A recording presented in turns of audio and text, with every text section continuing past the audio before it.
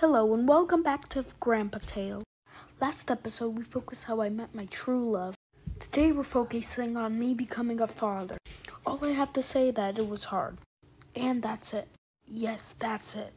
Okay.